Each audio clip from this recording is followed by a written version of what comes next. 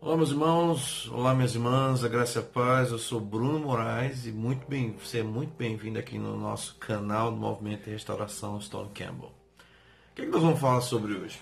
Hoje eu gostaria de falar com você sobre nomenclaturas dos líderes da igreja. Isso mesmo. Como é que a gente deve chamar um líder da igreja? Como a Bíblia chama ele? Hoje nós temos apóstolos, bispos, pastores, presbíteros, evangelistas, obreiros, missionários, profetas, acredite, até papa. Pois é, qual é a nomenclatura que os apóstolos usaram? Qual é a visão neotestamentária que nos deixa mais próximos da palavra de Deus? Vamos dar uma olhadinha nisso hoje. É interessante que a Bíblia ela é muito rica e o Novo Testamento, por ser é, escrito pelos apóstolos, nos dá uma convicção, uma certeza de que o que estamos fazendo aqui é de fato a vontade de Deus. Os homens têm suas profissões, têm suas funções sociais, e eles são muitas vezes chamados. O professor é chamado de mestre, o engenheiro às vezes é chamado de doutor, o médico é chamado de doutor, muitas vezes os juízes são chamados de meretríssimos ou senhores, ou vossa excelência, muitas vezes os presidentes, os ministros são chamados de vossa excelência. Mas como, como nós devemos chamar os líderes que governam a igreja? Existe diferença entre pastor, presbítero e bispo? Vamos pensar sobre isso. A Bíblia é muito clara. Só um foi chamado de pastor de fato no Novo Testamento, tanto por ele mesmo quanto pelos seus santos apóstolos. Esse foi Jesus Cristo. No livro de João, no capítulo 10, versículo 11, ele diz: Eu sou o bom pastor. Também Jesus disse que o bom pastor ele tem uma característica ele dá a vida pelas ovelhas. Por isso que ele é o bom pastor. Somente Jesus foi chamado de pastor em todo o Novo Testamento. Em 1 Pedro capítulo 5, versículo 4, ele fala assim: Afinal, vivias como ovelhas desgarrados, porém agora fostes chamados, convertidos ao pastor e bispo de vossas almas. Ainda em 1 Pedro, capítulo 5, versículo 4, diz: Ora, assim que o Supremo Pastor se manifestar, recebereis a imperecível coroa da glória. Então, irmãos, o que nós temos que primeiramente crer é que se há um pastor titular, se há um pastor presidente, se há, um cabeça, um líder nacional, um líder regional, um líder acima de todos, esse pastor é Jesus Cristo. É o nosso Senhor. O Senhor Jesus é o nosso pastor. Vamos lá. Como é que nós podemos entender, então, biblicamente, sobre homens que são chamados de pastores? Bom, os homens, na verdade, são co-pastores de Jesus.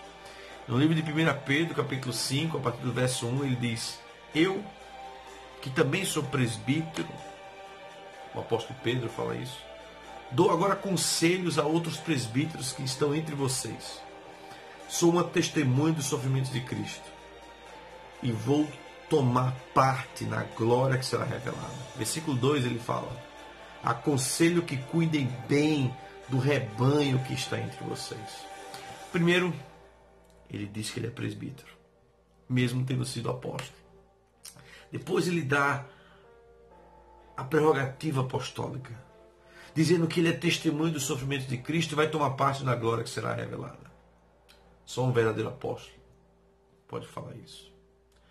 Depois, ele aconselha estes presbíteros, dizendo que eles precisam cuidar do rebanho que está entre dando uma clara explicação de que os presbíteros, na verdade, são os pastores daquela igreja local.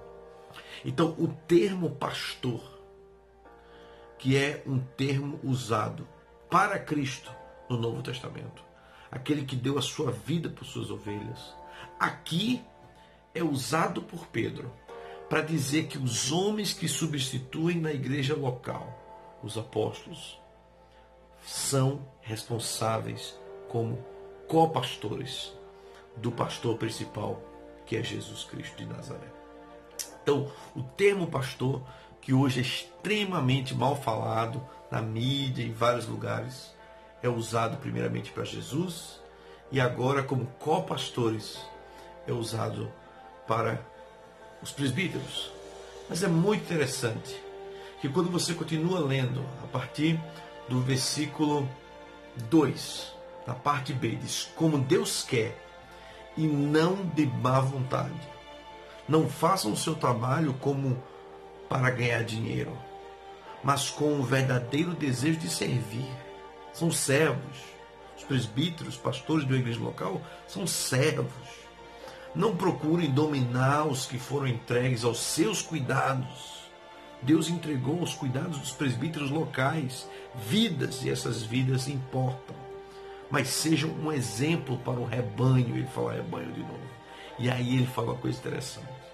Ele chamou lá em cima de presbíteros. Ele disse que o trabalho deles é pastorear. E agora ele fala assim: e quando o grande bispo e pastor aparecer, vocês receberão, receberão a coroa da glória que nunca perde o seu brilho. Quando Cristo aparecer, Ele que é o supremo pastor, nós iremos com certeza ter a nossa coroa entregue das mãos dele. Porque o rebanho sempre foi de Cristo. Assim nós podemos nos chamar de pastores, mas temos que ter a consciência de que o pastorado principal, o pastor titular, o supremo pastor é Jesus Cristo. Não sou eu, não é você, não é o bispo, não é o arcebispo, não é o apóstolo da sua igreja, não é o bispo primaz, é Jesus Cristo. Jesus Cristo é o supremo pastor das nossas almas, o supremo pastor da igreja. O resto é auxiliar. A palavra bispo, que foi elevada a outro patamar por causa dos primeiros séculos e, a, e, do erro da igreja de elevar entre os presbíteros homens porque eram mais eloquentes. Temos que voltar à originalidade, onde presbítero, que significa idoso na fé, ou ancião, deve representar também aquele que supervisiona a igreja local, ou seja, o bispo, ou os bispos, na verdade, da igreja local. Em Atos capítulo 20, versículo 17, Paulo disse: Em Mileto mandou chamar os presbíteros da igreja de Éfeso. A igreja, a congregação em Éfeso, tinha presbíteros, e não um só pastor, e não um bispo. Presbíteros. A igreja era local e tinha um governo plural de homens. Em Atos capítulo 20, versículo 28, a Bíblia diz assim: Cuidem de vocês mesmos e de todo o rebanho que o Espírito Santo entregou aos seus cuidados, como bispos, olha só, aos seus cuidados, na igreja local, como bispos, Paulo fala para os irmãos de Éfeso. Na igreja local, os presbíteros são chamados de bispos, irmãos. Então, essa coisa de ter um bispo acima, de ter um apóstolo acima, de ter um líder acima dos outros que se chama de bispo, isso é errado. Isso não é bíblico. Isso é antibíblico. Biblicamente, os bispos são os presbíteros da igreja. Se você for ordenado em uma igreja local para ser um presbítero, você é um bispo. Você é de um colegiado de bispos. É isso que o apóstolo Paulo está dizendo para os irmãos lá em Atos capítulo 20, versículo 28. Quando ele, e ele diz para nós, olha só, como bispos da igreja de Deus que ele comprou por meio do seu sangue do próprio filho. Está falando lá dos presbíteros. No mesmo texto, isso é tão claro.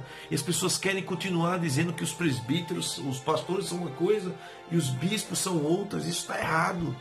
O governo da igreja ele é plural. Esse, essa pluralidade local de homens são presbíteros, porque são anciãos na fé.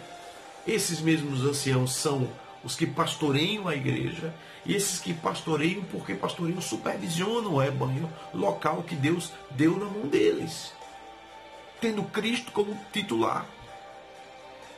Mas quando nós queremos o poder, quando nós queremos a pompa do título, o apóstolo, o bispo se sobressai e as igrejas se perdem no pragmatismo. E isso é pecado, irmãos. Isso é pecado.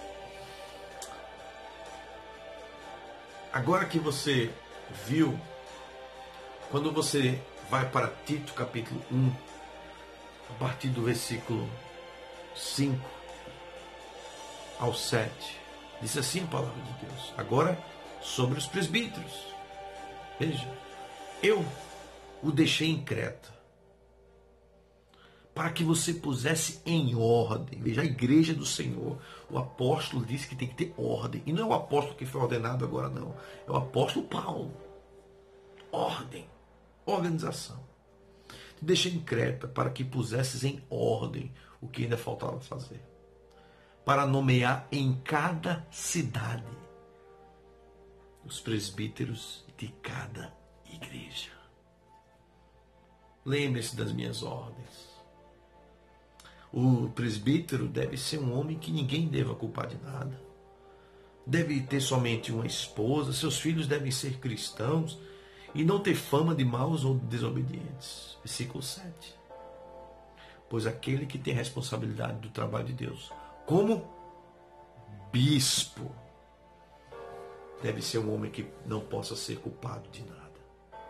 Mais uma vez, Paulo diz que a igreja é local, mais uma vez, Paulo dá características masculinas, dizendo que este homem não pode ser culpado de nada, deve ser marido de uma só mulher.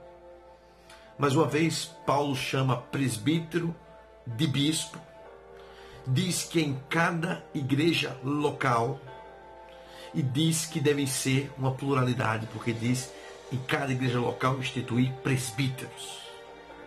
Bispo, presbítero, ou pastores, bispos, presbíteros ou pastores. São todos a mesma coisa. São três nomenclaturas. O bispo é o trabalho de supervisionar. O pastoreio é o trabalho de cuidar que esses supervisores exercem. E a palavra presbítero significa em que estágio da vida esses homens estão. Barba branca, cabelo branco, homens idosos da fé, não neófitos, como Paulo diz, para que não caiam no mesmo, na mesma armadilha de Satanás, que se ficou soberbo. Vamos pensar sobre isso, irmãos. O governo da igreja é muito importante. Local, plural, masculino, de homens que, assim como a qualificação bíblica nos dá, são chamados para serem supervisores, bispos, pastores, porque cuidam do rebanho, e presbíteros, porque são maduros na fé, experimentados na fé e não neófitos. Que Deus te abençoe e a gente fica por aqui. E na próxima vez que a gente se encontrar, nós vamos falar sobre quais são as funções dos presbíteros, bispos ou pastores da igreja local. Que Deus te abençoe. Que a graça do Senhor esteja sobre a tua vida e que você possa continuar sendo um cristão fiel à palavra de Deus e não a homens. Um grande abraço. Até mais.